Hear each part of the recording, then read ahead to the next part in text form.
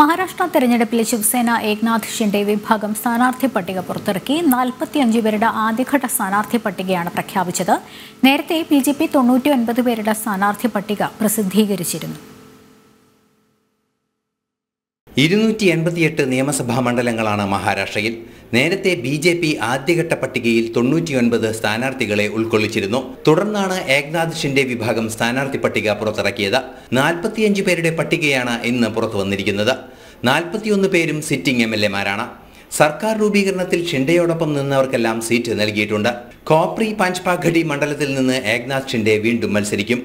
ഇതോടെ പകുതിയോളം മണ്ഡലങ്ങളിലേക്കുള്ള മഹായുദ്ധി മുന്നണിയുടെ സ്ഥാനാർത്ഥി പട്ടിക പുറത്തുവന്നു ശക്തമായ മത്സരത്തിന് മഹാരാഷ്ട്രയിൽ ബി ജെ പി മുന്നണി ഒരുക്കങ്ങൾ നടത്തുന്നു എന്നാണ് സ്ഥാനാർത്ഥി പട്ടികയിലൂടെ മനസ്സിലാക്കാൻ സാധിക്കുന്നത്. നാഷണൽ ഡെസ്ക് ജനം